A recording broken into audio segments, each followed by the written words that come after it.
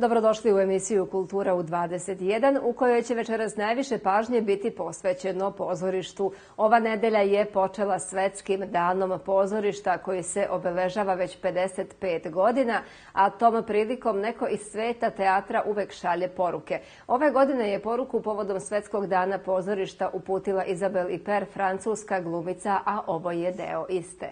Pozorište se uvek ponovo rađa iz svog pepela. Ono je samo konvencija koju neumorno treba rušiti. Tako ono ostaje živo. Pozorište ima bujan život koji izaziva prostor i vreme. Najsavremeniji komadi hrane se prošlim vekovima. Najklasičniji repertoari postaju moderni svaki put kad se ponovo postave. Pozorište je za mene drugi, ono je dijalog, odsustvo mržnje. Pozorište nas štiti, pruža nam zaklon. Verujem da nas voli onoliko koliko mi volimo njega. Sećam se jednog reditelja, starog kova koji je pre podizanja zavese iza kulisa svako veče govorio čvrstim glasom mesta za pozorište. Završila je Izabeli Per svoju poruku povodom Svetskog dana pozorišta.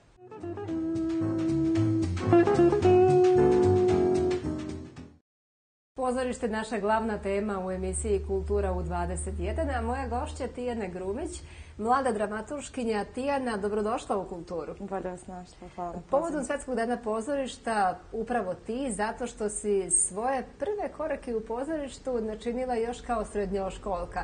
I bila je to vrlo interesantna predstava, mnogi koji su slušali nisu mogli da zapamte predstavu, naziv predstave. Da, e, na usni mog džeda cigara za vijenu, da, to je, to je prva predstava koju sam radila još u srednjoj školi i posle upisala sa istim tim tekstom Fakultet dramskih umetnosti.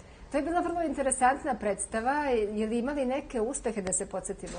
Pa da, to je bila i dosta uspešna predstava. Mi smo to, eto, ja sam nekako potpuno slučajno i napisala taj tekst da bismo mogli da radimo nešto na dramskoj sekciji, ali posle smo sa njom išli na Bijenale mladih u Veneciju, išli smo na srednjoškolsko pozorje u Novi Sad, tamo smo dobili i nagradu i dobile su neki glumci nagradu, ja sam dobila za tekst, išli smo u Kragujevac sa njom na isto pozorje dramskih sekcija ovaj, srednjih škola Srbije, tako da dosta smo mi putovali, igrala se i bila je onako uspešna.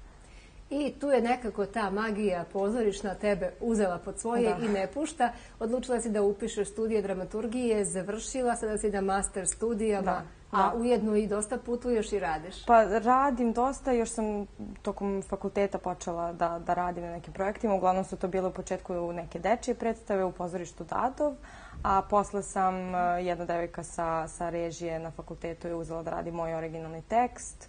Sad poslednje što sam radila jeste u Narodnom pozorištu kao dramaturg na predstavi Carstvo mraka, tako da da, dosta se onako stvari dešava. Uglavnom radim u pozorištu, ali da, imam i na radiju malo i tako da, da sam angažovana.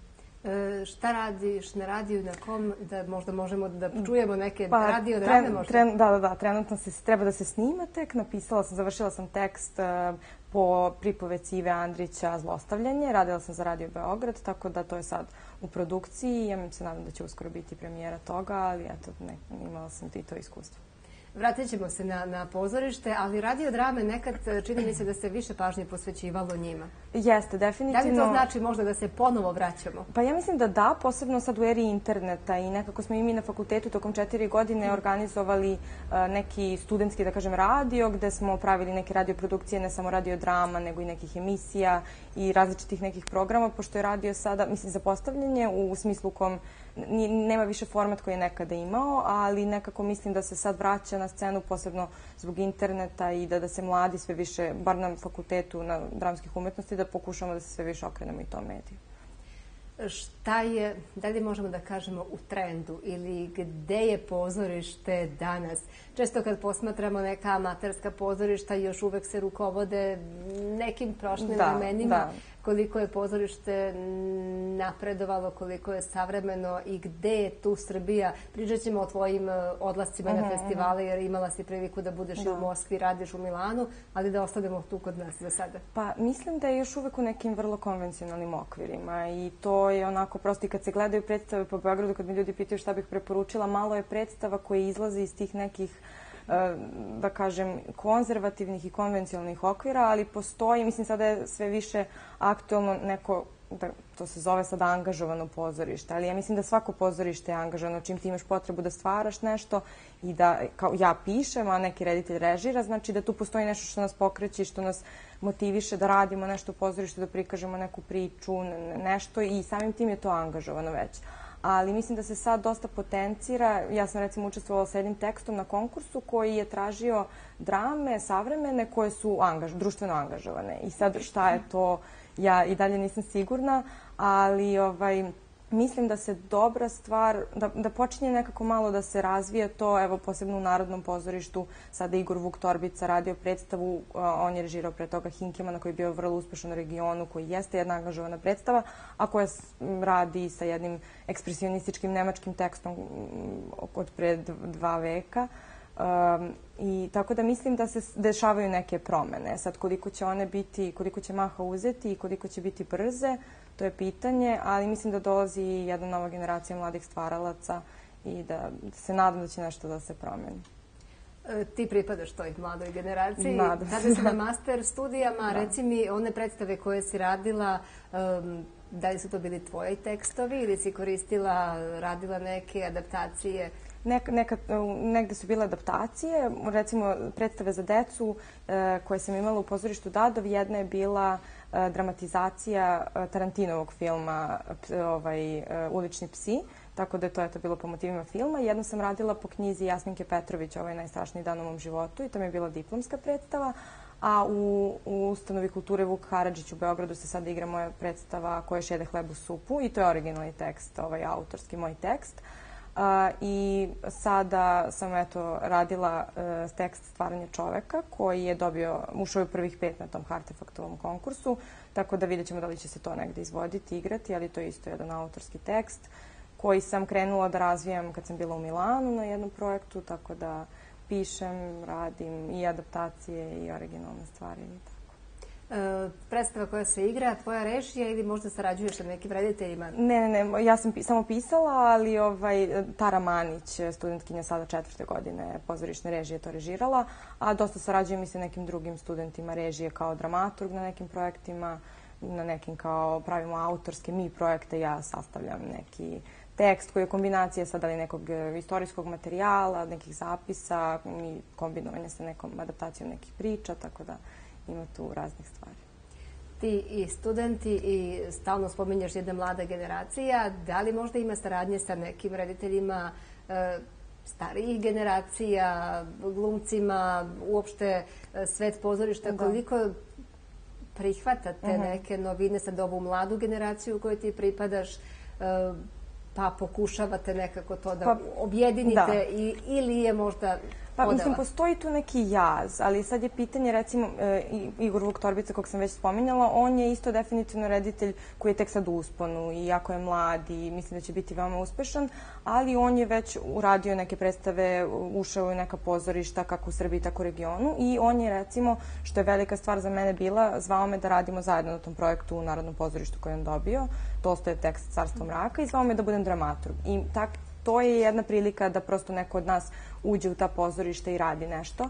Ali s druge strane postoji tu sad, mislim recimo sad iz moje perspektive dramaturga, teško je probiti se u smislu da malo pozorišta danas igra mlade pisce i malo pozorišta postavlja savremene tekstove, jer je uvek lakše postaviti neki stariji tekst Šekspira ili Nušića ili to, to će uvek biti popularno, a ovaj, i u tom smislu je teško. S druge strane, mislim da je rediteljima malo lakše, ali recimo u Novom Sadu se pojavila, pojavilo pozorište Promena, koje je čisto studentsko pozorište koje organizuju studenti sa njihove akademije. Mislim da je to jedna inicijativa koja je veoma značajna i žao mi je što tako nešto ne postoji u Beogradu ali sad postoje neke inicijative za saradnju ovaj, Beograda i Novog Sada, tako da mislim da ćemo mi tu naći neki naš put ako već ne bude prilike da, da, da radimo u velikim pozorištima. Šta trenutno radiš? Rekla si neki projekat koji si započela u Milanu. E, da, u Milanu sam bila prošle godine 3-4 puta, zato što smo imali veliki internacionalni projekat gde su učestvovali akademije iz Londona, Minhena, Milana i Beograda. I onda smo se mi upoznali sa studentima režije i dramaturgije sa tih akademija, napravili smo neke male radne grupe i počeli da razvijamo projekte. I u tom smislu je u julu bila premijera tih naših kratkih predstava, to je da, da još bio kratki format. Ja sam kasnije iz te ideje počela da razvijem celovečernju dramu. Um, koju sam završila i to je to stvaranje čoveka o kom sam pričala, ali taj projekat je sad završen, ali mislim da će oni ponovo da pokrenu ove godine nešto slično, sad da li sa istom temom, prošle godine je bila tema migracije i migrantska kriza u Evropi, sad verujem da će opet biti nešto u tom smislu socijalno angažovano, ali vidjet ćemo kako će se to razvijati. I da, imala sam taj projekat u Moskvi gde smo išli sa predstavom koja šede hleba u supu, to je isto interesantno iskustvo i treba sad da počnem u Somborskom pozorištu da radim sa rediteljkom Sonjom Petrović iz Novog Sada i to je prilike od zauzeća u ovom trenutku. Moskva je bila krajem godine? Da, krajem prošle godine u novembru je bio festival Geek Festival. To je jedan veliki, zapravo filmski festival, ali imaju i pozorišnu tradiciju, već, ne znam, mislim 12-13 godina da postoji pozorišni deo festivala i onda oni u suštini šalju pozive nekim evropskim akademijama sa kojima sarađuju i naš fakultet je odabrao da pošalje tu predstavu rađenu po mom tekstu, tako da smo išli onako studentska ekipa, tamo su svi ostali studenti, upoznali smo i neki studente iz Bugarske, Kine, dosta studenta iz Rusije. I onako to je interesantno jer onda vidim gde se mi tu negde pozicioniramo, pošto recimo meni je bilo jako zabavno to što Rusija, zemlja kolika jeste i toliko akademija ima i toliko predstava, mislim da su vrlo e, konzervativni u tom nekom stvaralačkom pozorišnom smislu i da je naša predstava tu bila njima veliki šok kako je to jako savremeno, avangardno, što je nama isto bilo, mislim, nevro, nije to sad nešto posebno drugačije od toga. Mislim, jeste u nekom smislu od toga što oni rade, ali nekako u Srbiji mislim da nije nešto toliko šokantno koliko je njima bilo tamo, jer nikad to nisu videli. I onda smo dobili nagradu za najbolju savremenu predstavu, tako da je to njima onako bilo veoma interesantno.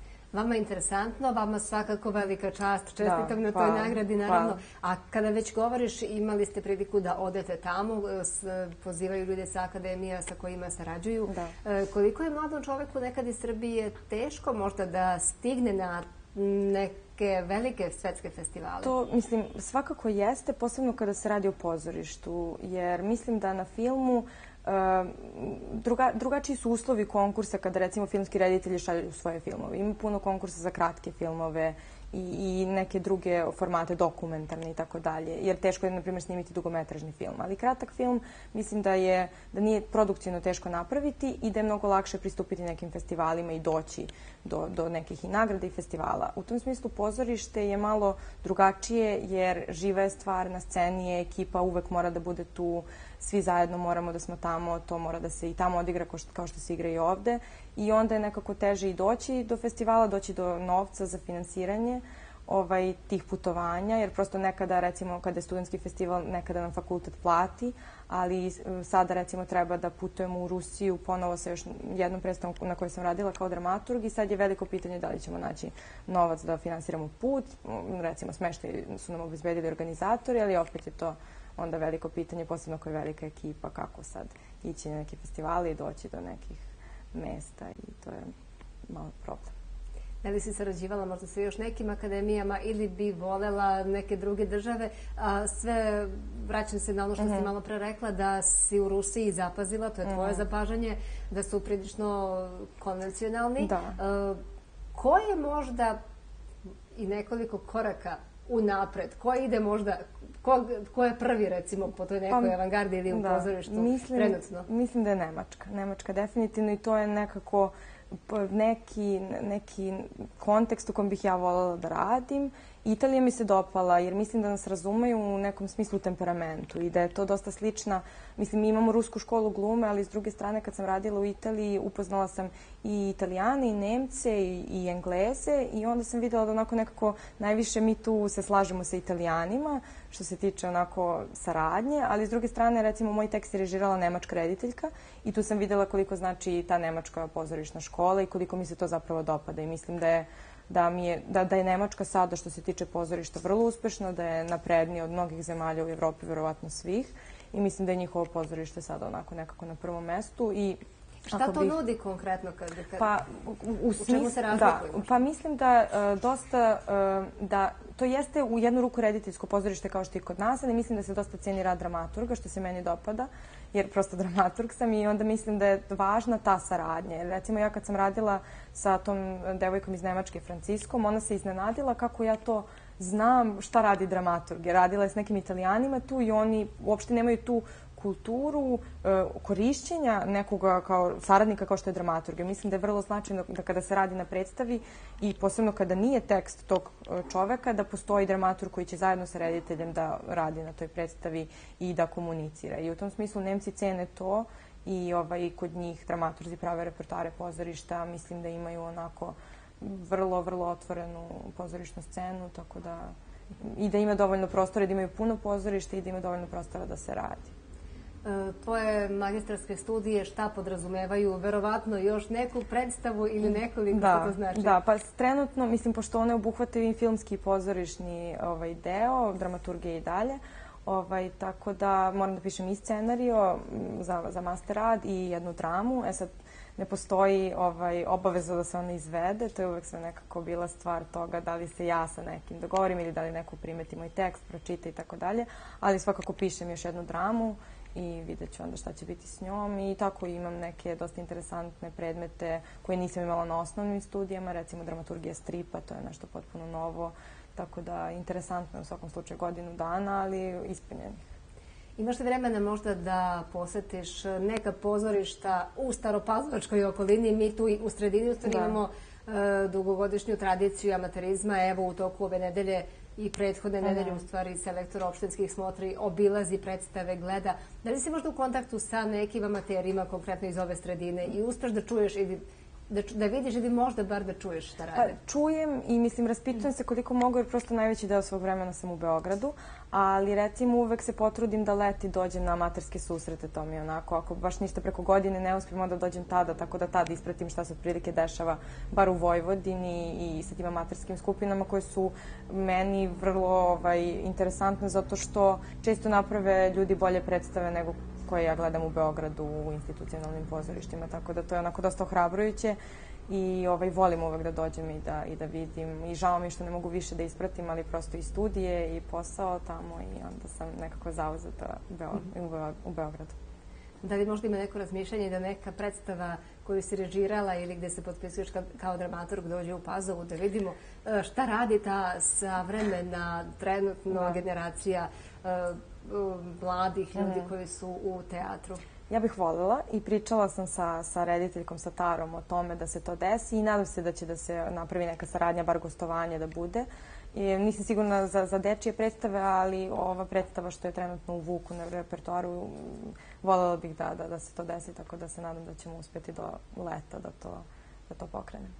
Da li možda pratiš, makar na Facebooku i društvenim stranicama, šta rade oni koji su ostali posle tebe u gimnaziji, sledeće generacije, mislim pa, da nisu prekidali ono što je započela tvoja generacija. Da, nije prekinuto i mislim, ja, moja mlađa sestra, četiri godine mlađa, isto išla u gimnaziju, tako da sam, evo sad i ona upisala fakultet, ali dok išla u srednju školu, ja sam pratila preko nje šta oni rade i uvek me i Branka Nišević, koja je bila moja razredna, pozove i onda pita da preporučim neki tekst ili da ih posavetujem šta bi mogli da rade, tako da pratim i drago mi je da se to nastavilo, jer nekako od kad je Lana to pokrenula, pa posle i ja sam sa njom nastavila, mislim da je, da je važna stvar da se dešava, jer mislim i ja sam zbog toga upisala Fakultet dramskih umetnosti i Lana isto i mnogi su tu ljudi rešili čime žele da se bave, pa makar i rešili da ne žele time, ali su shvatili da je to postoji nešto drugo što ih zanima ili smo mi shvatili da je to baš ono što nas zanima, tako da mislim da je jako važno da postoji bar su vidjeli gde su i šta hoće da, ili šta da. neće i kao što reče Izabeli Per u svojoj poruci povodom Svetskog dana pozorišta,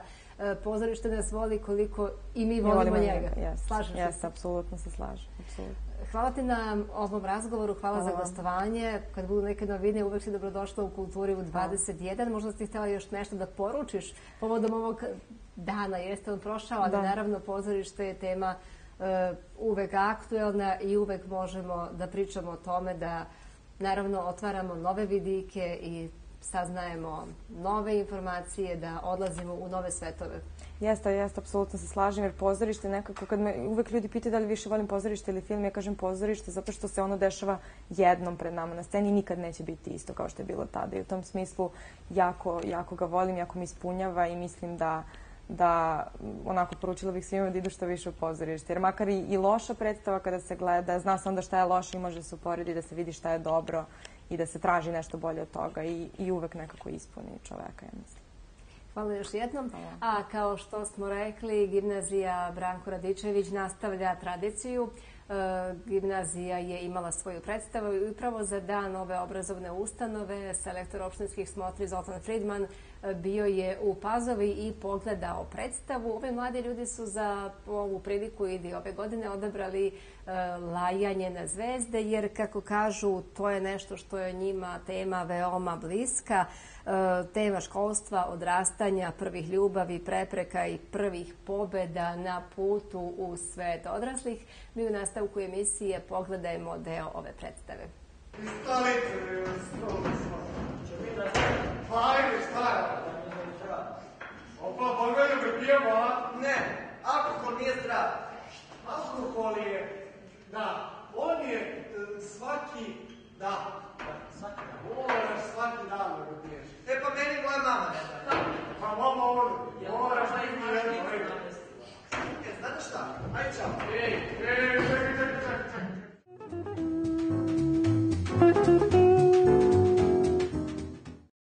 I dalje govorimo o pozorištu. Nakon subotnje premijere omladinska scena amaterskog pozorišta Mirko Tatalović-Ćira u Novoj Pazovi, utorak je već izvela prvu reprizu predstave Milica od pepela. Ovo izvođenje pratio je i selektor opštinskih smotri dramskog stvaralaštva Zoltan Fridman.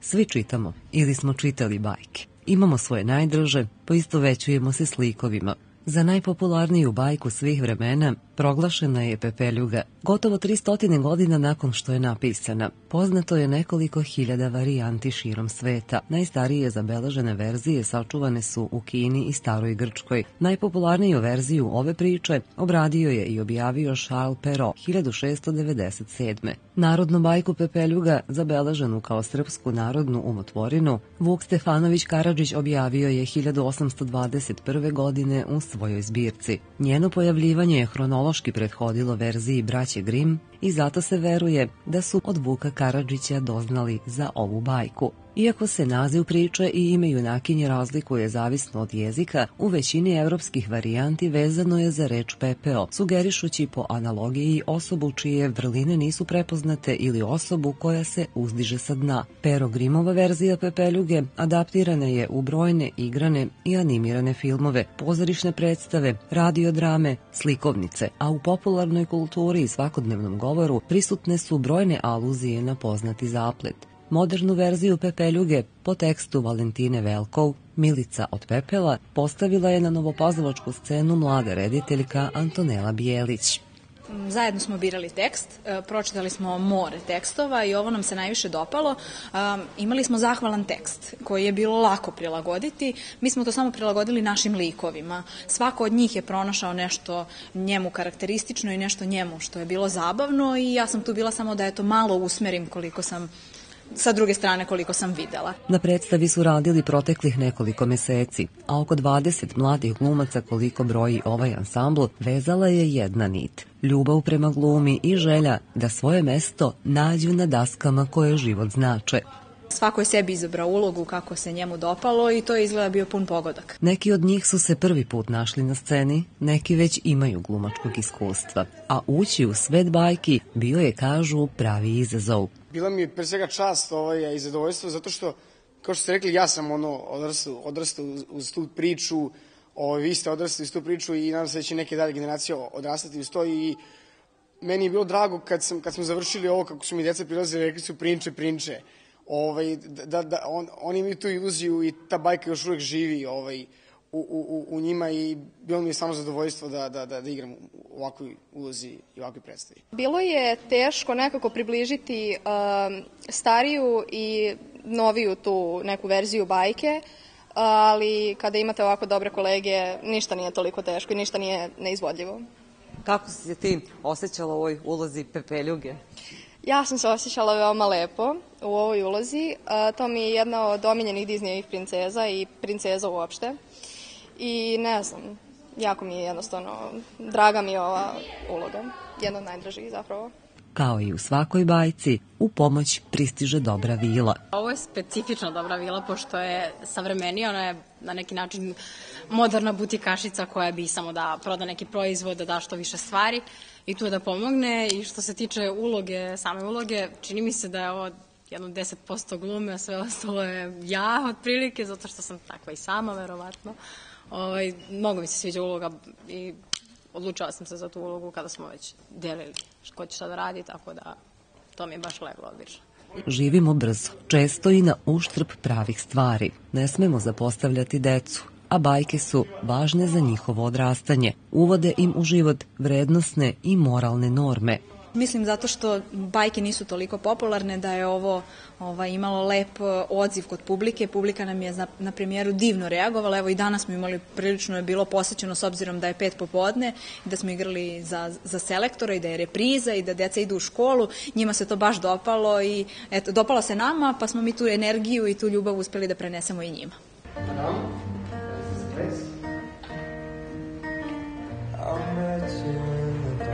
Dobra ti frizura. Oporavi se vada. Se.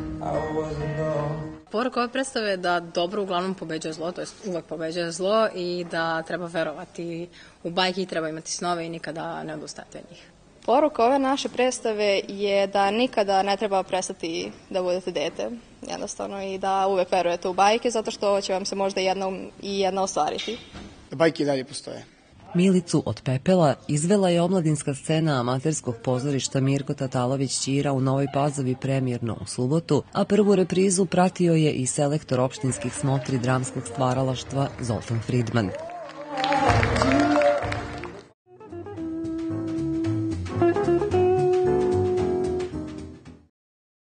Koncert klasične muzike, kako je Ljubinko Lazić i najavio, održan je i ovog meseca. U holu pozorišne sale u Staroj Pazovi nastupili su članovi Beogradske filharmonije. Klasična muzika nije bauk, šta više u poplavi elektronskih zvukova kojima smo svakodnevno okružani sa raznih uređaja i medija, slušati uživo vrhunske muzičare kako izvode muziku starih majstora predstavlja privilegiju i istinsko uživanje.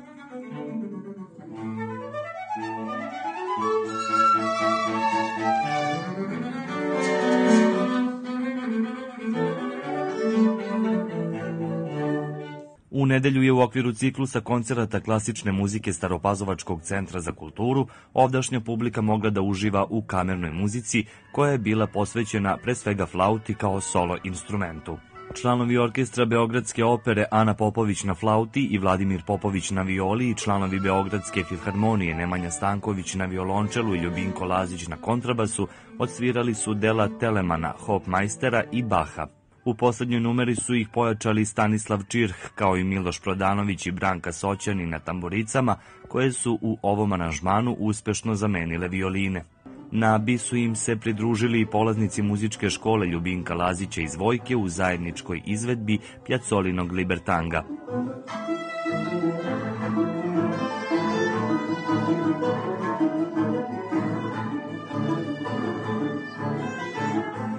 Ciklus koncerata klasične muzike u holu pozorišne sale u Staroj Pazovi nastavlja se sledećeg meseca, kada će u fokusu biti violončelo, a publici će se predstaviti najmlađi član Beogradske filharmonije, violončelista Nemanja Stanković. Privilegiju slušanja čarobnog zvuka flaute lokalna publika češće će slušati jer je Ana Popović postala predavač u muzičkoj školi Ljubinka Lazića.